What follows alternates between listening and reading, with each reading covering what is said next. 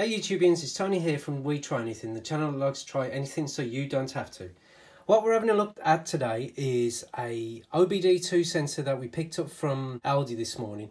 And uh, what we thought we'd do is just show you what's inside the packaging, open it all up, uh, and then have a look at it and see what it's like as it works and stuff like that really.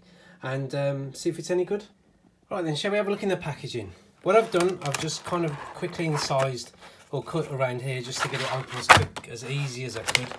And let's uh, zoom in. And there you are, that's the actual unit itself. Um, it's quite a sturdy, well, it's a bit plasticky kind of unit.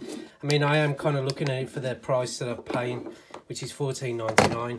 Um, there's the OBD2 sensor itself, which should be easy to fit.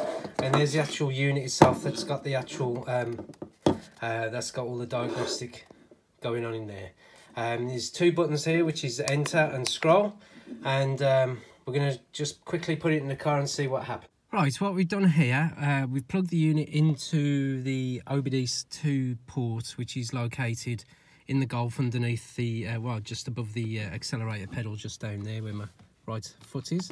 Um, it's plugged in and I haven't turned the car on at all because um, that's not what you're meant to do. Apparently what you're meant to do is um, plug the actual OBD2 sensor into the port. You'll have to forgive me because the uh, it's quite reflective the screen and uh, it's quite a sunny day today so I'm trying to keep it at an angle so you can see what's going on at the actual port area as it were or sorry the information area just there.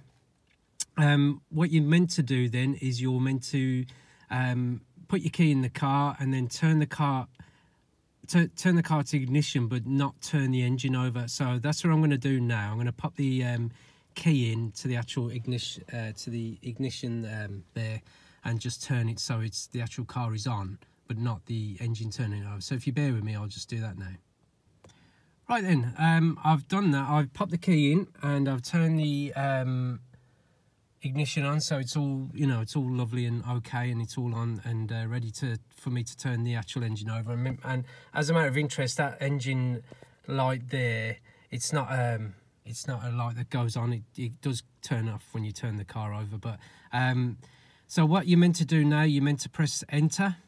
Uh, while you, um, the engine's not running but it is on so I'm going to do that. And what it does then do, it goes through a load of protocols so it connects to the car's ECU unit. And then once it's gone through, you get this display here, which goes onto one, which is uh, diagnosed trouble codes. So you can scroll through the menu here, which is, it's, it's very simple, to be honest, this unit. You go to arrays, and then the next one you go to option three which i believe might be information known as information management or something like that. And what it does it just checks the it's a I/M readiness function used to check the operations of the emission system on the OBD2 compliant vehicles. And that's just reading it out the actual instruction manual here. And what it will check for um, or will scan for is uh, misfires, fuel system monitors, com comprehensive, or it will just check to see if the sensors are available or working or ready.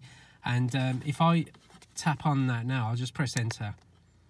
It goes through the actual sensors that the car's either got on or off or stuff. Uh, let me just center it up. So if I scroll through, you've got this one's a misfire monitor. This one, oh, sorry, that's the misfire monitor. That's fuel system monitor, which is ready. Next one's comprehensive components monitor, catalyst monitor, heated catalyst monitor, evaporative system, secondary air monitor, AC system. I have got an AC system in this car, but it's just saying it's not um, not available. Um, O2 sensors monitor, O2 sensor heater monitor, EGR system monitor, and then what you then do is press enter to go to the main menu. And then, as I say, it's very simple. You've, I mean, you can view the car's VIN number, which I won't do in this in this uh, application, um, just for security reasons. So what I'm going to do is um, just tap on this, which is the uh, diagnostic trouble or diagnosing tr any trouble codes that the engine may have, or the ECU has um, kind of acknowledged. Uh, I'll just press on enter, and luckily my car doesn't have any codes. Now, unluckily, I can't show you any kind of problem codes that you could have a look at and see if the system's any good for diagnosing.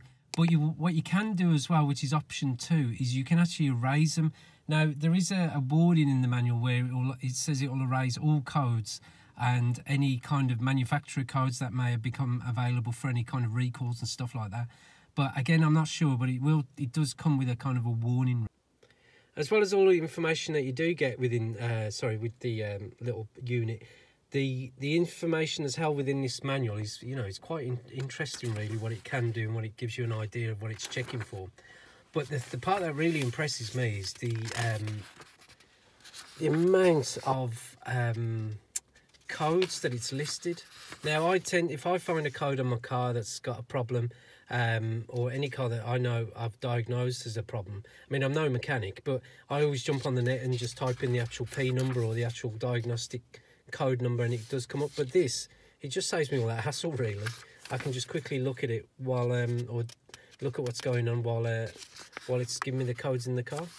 Uh, which is very handy. The only thing I will say in comparison is it doesn't give you as much information as the other one that I reviewed, which I'll put a link to. And it's, you know, that is via Bluetooth and it's via an app on the iPhone, which gives you a lot more information about what's going on with the car, the revolutions, any kind of oxygen or anything in the engine, or what the sensors are reading. So, in that aspect, it's this is very simple in the way it works, which for some people is ideal. And for the price point, you're paying £14 and it apparently will clear any codes, which I haven't been able to check in this car because I'm quite fortunate not to have them.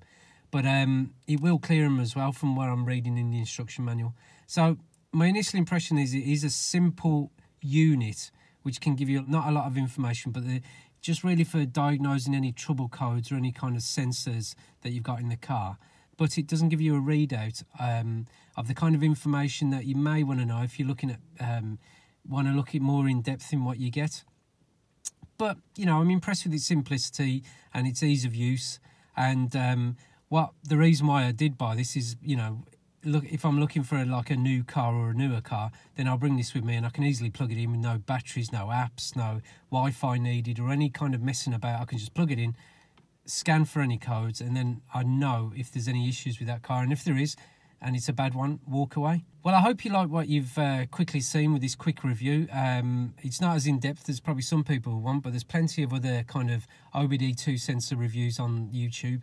But I ho hope you like what you see. And if you want any more information about this unit, then please pop a, a comment in the list below. We have got more future videos coming up with other kind of reviews of different types of things like places, products, and stuff like that. So please subscribe and uh, like this video if you like the content that we placed. We hope you like the video and we wish you a great day. Goodbye.